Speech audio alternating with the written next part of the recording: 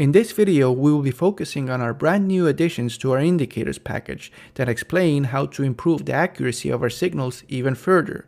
If you haven't done so already, make sure to check out our last two indicators guides that focus more on our older indicators and explain how to set all of our indicators up. The links can be found in the description.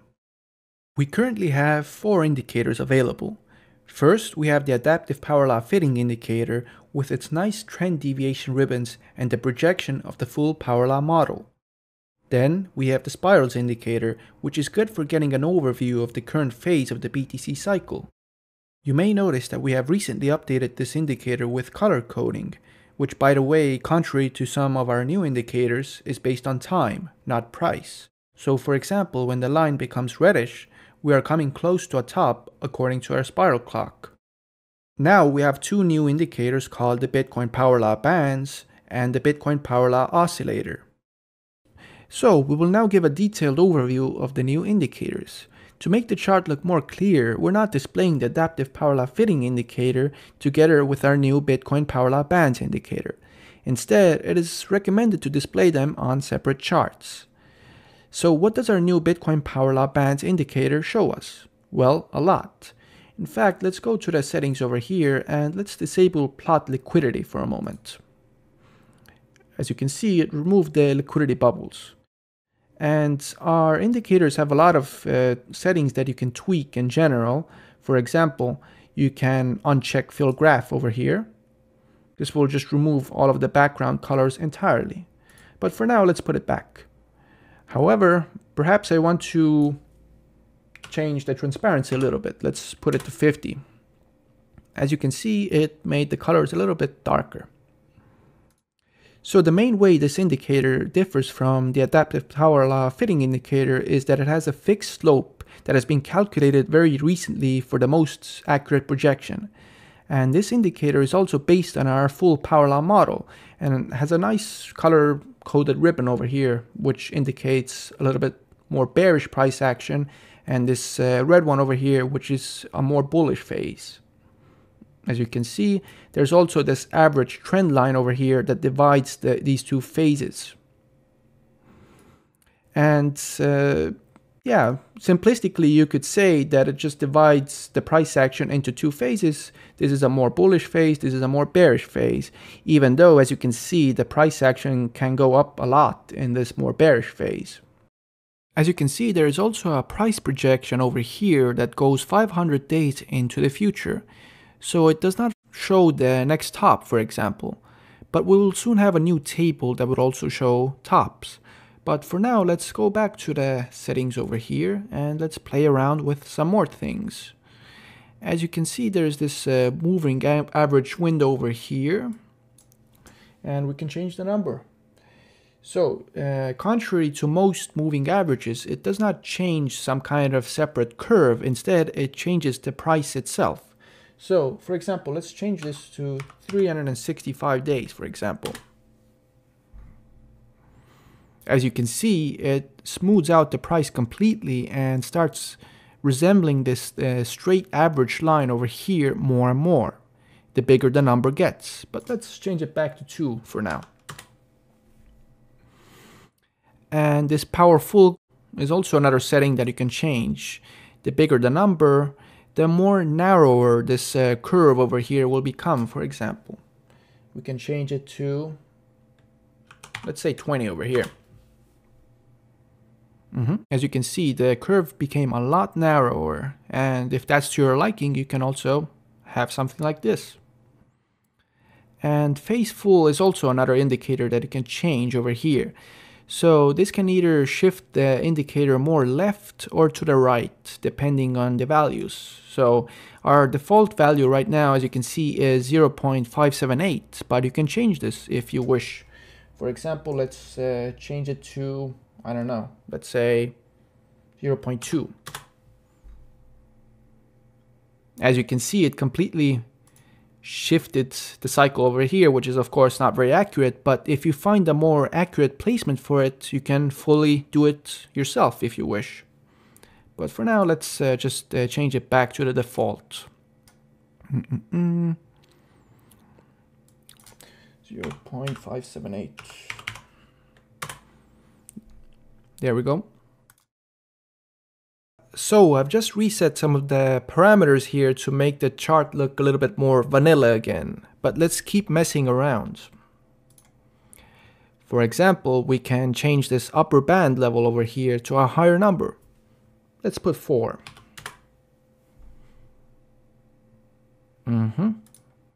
As you can see, it significantly raised this upper band if you want to catch the tops better, for example. Let's talk about liquidity now. Let's enable it over here, and as you can see, it's just put these little bubbles on the chart. And what are these bubbles? So, the blue bubbles indicate longs and the purple bubbles indicate shorts. And as you can see from the settings over here, there is an HD mode and a normal modes. So the HD modes shows only the essential levels while the normal mode shows all kinds of different levels over here, as you can see. Mm -hmm. And they identify the most uh, leveraged areas on the charts in general. So it's a pretty good indicator for trading, for example. But we will talk more about uh, these liquidation bubbles in a future video. Now to the Bitcoin Power Law Oscillator, which can show very different things depending on your settings. And it is also important to note that this scale over here is based on percentages, but in the future we can also add standard deviations, for example. And let's go to the settings over here, and as you can see, we currently have relative to trend enabled, which is very good for finding bottoms because the bottoms generally happen close to 60% deviation from the trend.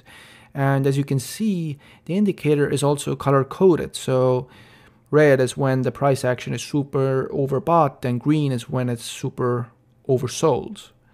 And when we go back to the settings, we can choose relative to price, for example. As you can see, the indicator changes dramatically.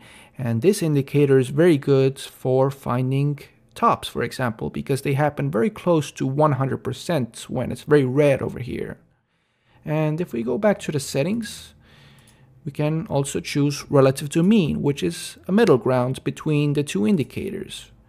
And you can also do weighted dollar cost averaging based on the colors, for example. This is a very good indicator for that because you can put in different uh, sums, for example, based on the color over here. You can put very little in when it's red and a lot in when it's green. So you can do as you wish. So, why do we have so many different indicators? A good analogy would be when you go to the doctor's office because they do different tests like x rays and analysis of the blood to get a full picture of your health.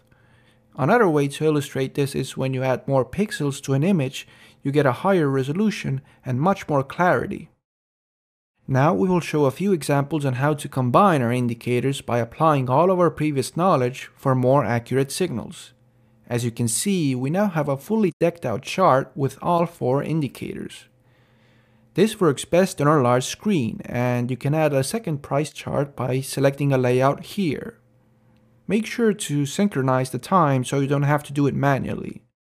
If you have a smaller screen, you can just combine two different saved presets to also have a full picture. So, let's analyze the 2017 bull market top.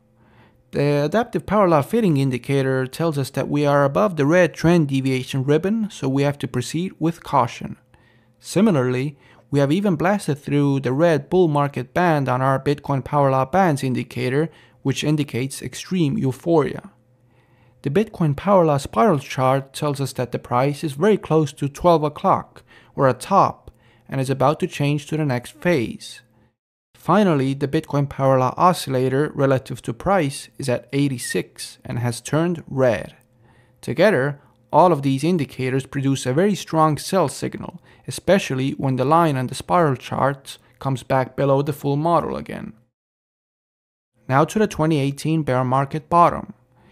We're getting very close to the purple line according to the adaptive power law fitting indicator.